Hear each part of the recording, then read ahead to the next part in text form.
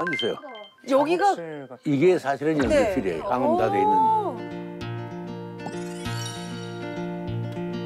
옛날 옛날 내가 살던 작은 동네엔 늘 푸른 동산이 하나 있었지 거기엔 오동나무 한 그루하고 같이 놀던 소녀 하나 있어 근데 아까부터 제가 이거 너무 궁금했는데 이 기타는 뭐예요? 얼마나 많이 치셨으면 저기 살짝 응. 다 손이 손 저게 다 피크 자국이에요. 네.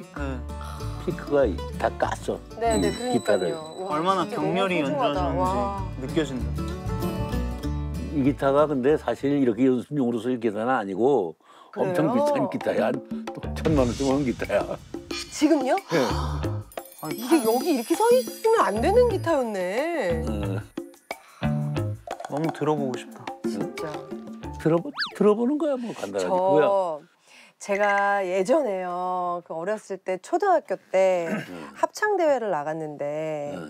서정주 시인의 그 푸르른 아, 날, 푸르른 네, 그거를 저희가- 합창대회에서 네 어휴 굉장히 그걸 불러서 초등학교 때 그래서 오늘 정말 실례가 안 된다면 한 번만 이 기타로 네 푸르른 푸르른 날을 날? 들, 네, 들, 들을 수 있을까? 너무 아침이긴 한데 날 괜찮아요. 가만 있어봐. 푸르는 날을 부르려면 기타를 내가 매야 되는데 아.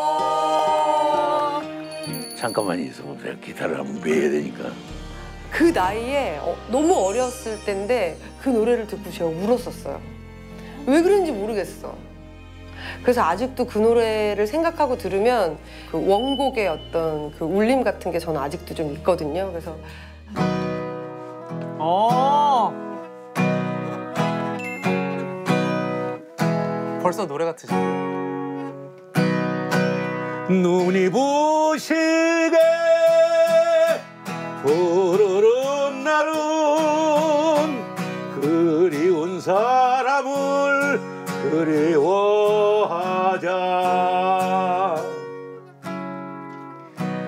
저기 저기 저 가을 꽃자리 초록이 지쳐 단풍 드는데. 눈이 내리면 어이하리야 봄이 도면 어이하리야. 내가 죽고서 네가 산다면 내가 죽고서 내가 산다면 눈이 부시게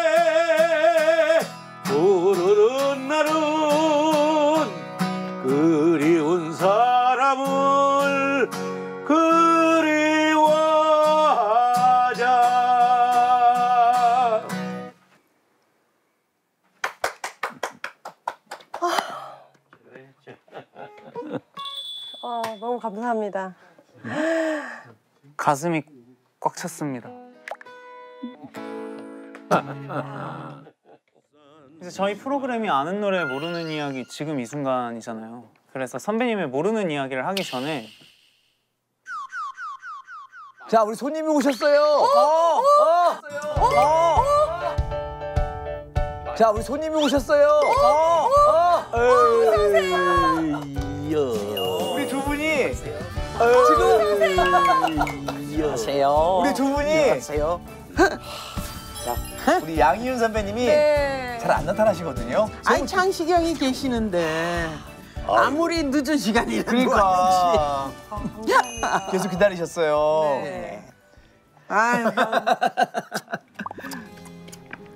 늙은 고아 둘이서 아, 무슨 말씀? 긴 밤지 새우고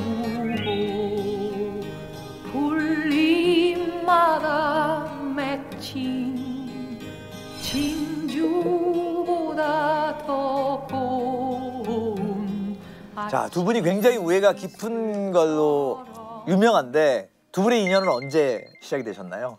아우 굉장히 오래 전이죠. 제가 고등학교 2학년 때 처음 뵀으니까 1968년에 에, 이제 예 그때 학생들 특별 활동으로 영어 회화 클럽이 있었는데 네.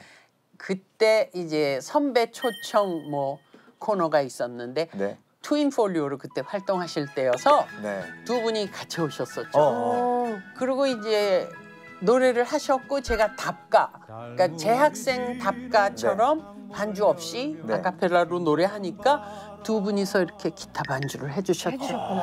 그게 이제 처음 뵌 거고 노래를 아주 안방지게 잘하는 거예요. 고등학교 2학년인데. 네.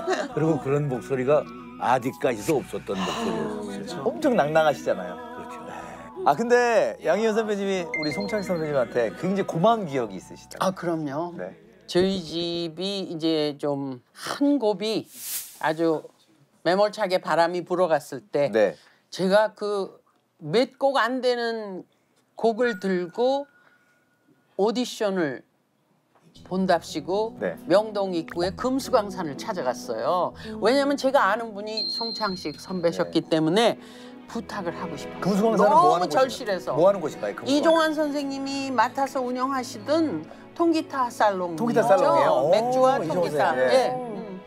그래서 제가 찾아가서 저 노래 좀 하게 해주세요 그러니까 창식형이 왜 그러면서 이렇게 쳐다보는데 돈이 필요해요 돈이 없어요 그러니까 이렇게 보다가 기다려 그러더니 이종환 선배님한테 형 얘 노래 좀 들어보세요.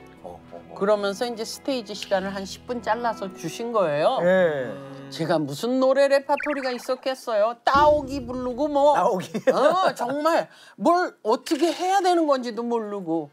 그리고 뭐 이루어질 수 없는 네. 부르고 그랬어요. 그게 이제 내일부터 와서 일하라. 아. 예. 그래서 저를 데뷔 시켜 주신 분이에요. 그렇네요. 네. 그렇네요.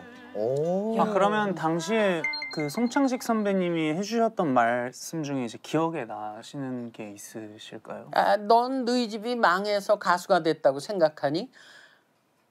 음. 너희 집이 망하지 않았어도 난 너는 가수가 될 거야.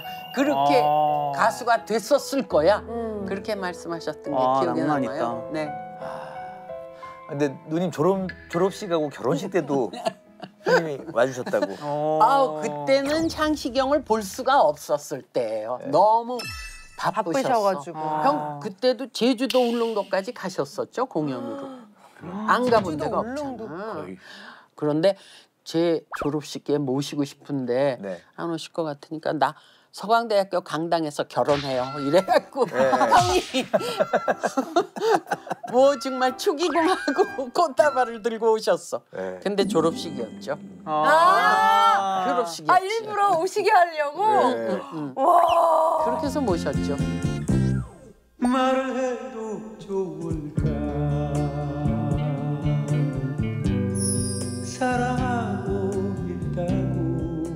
아니 근데 진짜 결혼식에도 와서 축가 불러 네, 주셨어요. 그럼요. 그래서 결국은 네, 그럼요.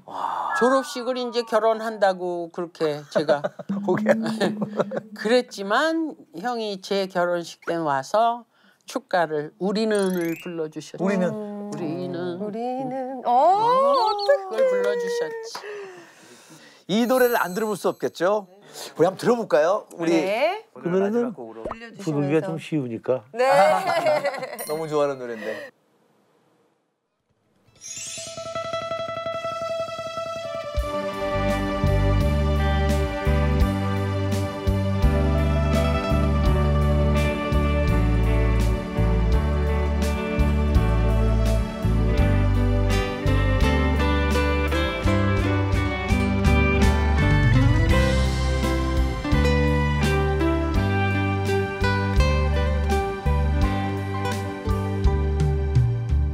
우리는 빛이 없는 어둠 속에서도 찾을 수 있는 우리는 아주 작은 몸짓 하나라도 느낄 수 있는 우리는 우리는 소리 없는 침묵으로도 말할 수 있는 우리는 마주치는 눈빛 하나로 모두 알 수 있는 우리는 우리는 연인. 기나긴 하세월을 기다려 우리는 만났다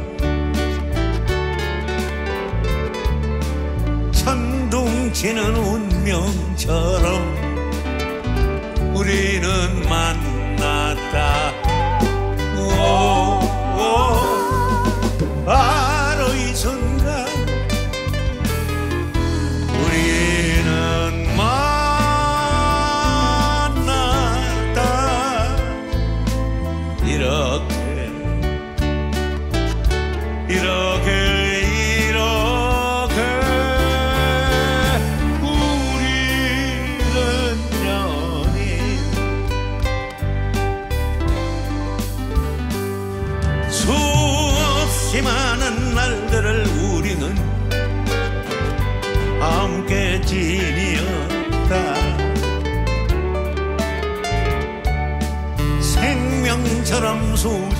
빛을 함께 지니었다.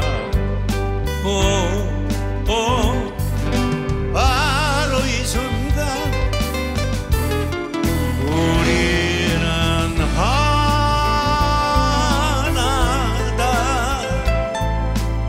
이렇게 이렇게